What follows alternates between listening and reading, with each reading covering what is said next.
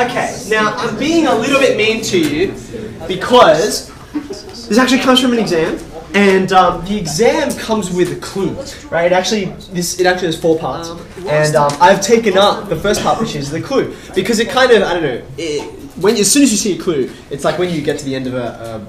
a um, you know, like a detective novel or a mystery, you're like, oh, what's obvious? Like you read that, and you're like, oh, the rest of it is obvious. So I want you first to just, and I will, I will show you what the, the technique is, what the properties we're going to take advantage of. I just want you to push on this for a moment, just as mathematicians, right? Just look at the first part of the proof, upon which the rest hangs. These two things apparently are equal. Well, they are. Okay.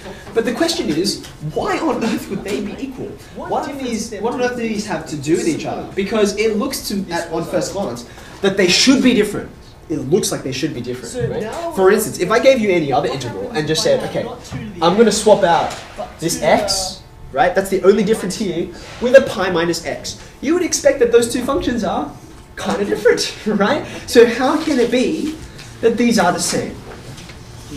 Here's the property that um, I'm going to show you, and I'm going to call it, I've got some names that are sort of overlapping here, but I hope it makes sense. We had the reverse property, which is doing an integral backwards order? We also had the symmetry properties, which are about odd and even functions, okay? This is about neither of those, but it's quite closely related to them. So I'm calling this one the reflective property. Again, this is an informal name. But hopefully, once you see it, you're like, oh, okay, this name, this name makes sense. Okay.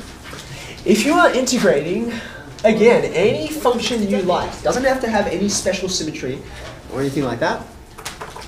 Um, if you're integrating from naught to a, if you so choose, if it ends up being useful to you, as in this case, it, it's extraordinarily useful.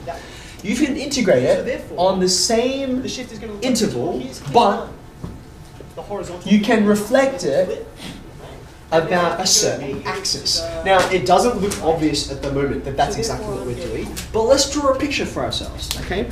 Um, last time, last time we did an exponential function, right? Let's borrow him again. Yes, that's fine. Actually, to keep the same color. Okay.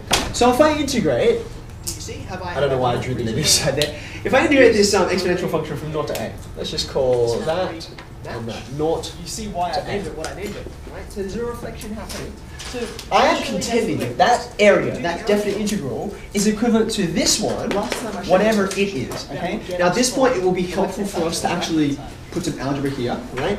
What difference is there between these two things? Well, suppose, just suppose, this was um, y equals 2 to the x. Okay.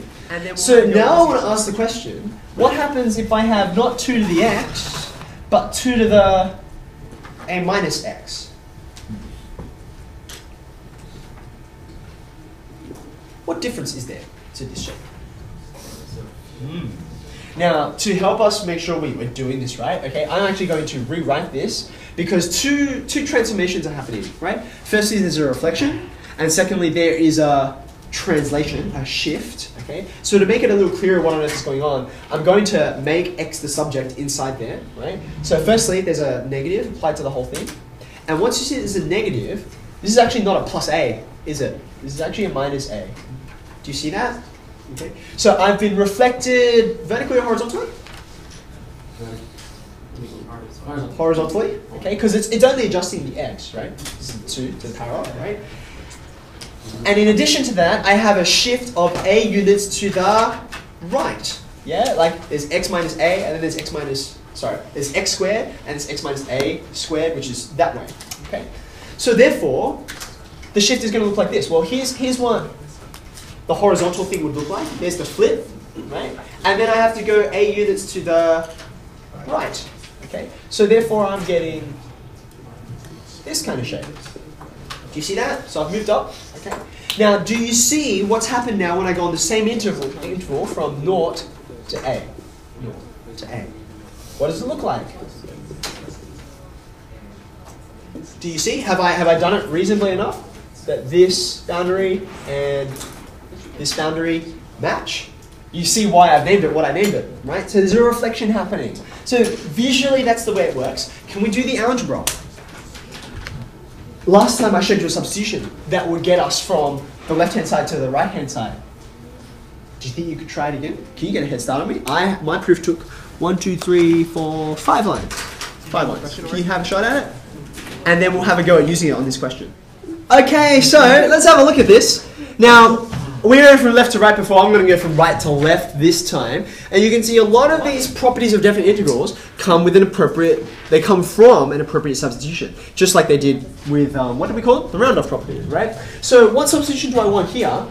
You can see I have this a minus x, and I don't want an a minus x. I want an x. Okay? So what I'm going to do is I'm going to introduce, well, just get rid of this a minus x. Let's call my chosen substitution a minus x. That'll get rid of it in one hit. Okay.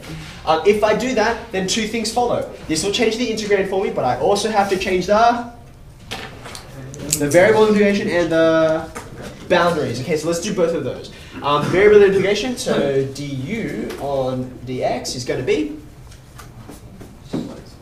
minus 1. Okay, so I'm going to pop the negative on the other side because there's a 1 in my integral, as there always is.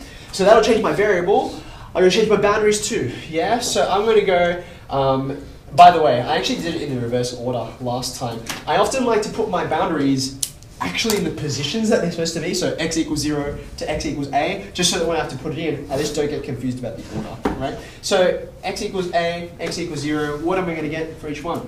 What's my u value here?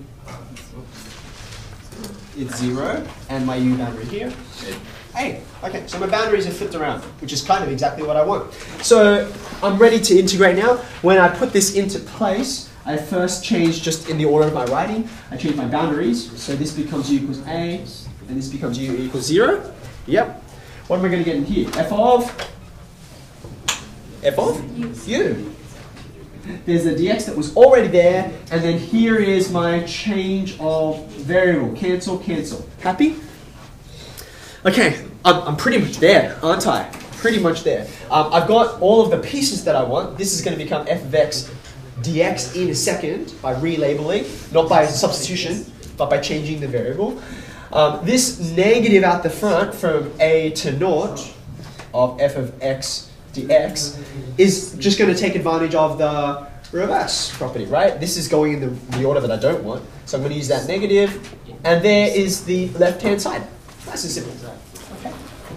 Question? Can you just say that f of x equals f of How can you say that d minus du? How can you say d equals dx? Sorry.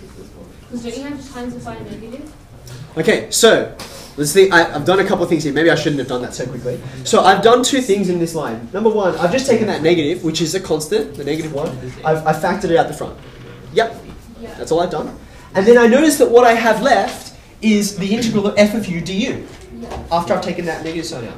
But u is just a dummy variable. It's just a temporary label. It's going to get replaced by these numbers in a second. Oh. So therefore, f of u du is the same as f of x dx. Okay, so I'm not using this as a substitution. There's no a's at all here, right? What I'm doing is I'm just relabeling the variable because it's just a dummy. It's just sitting there for a second until I integrate. But doesn't u equal a minus? It does, but I'm not taking, I'm not, I'm forgetting about that. Like, I could have relabeled this line, could have said f of theta d theta, or f of t dt, right? I'm using the dummy variable property, not this substitution I introduced before.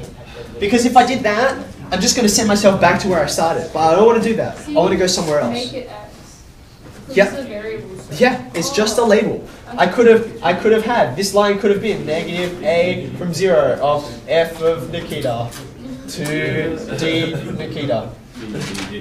Oh, I think it's changing with respect to the change in Nikita. Anyway, okay, so I won't, I won't push on this too long, okay? It's just a label. It's just a label.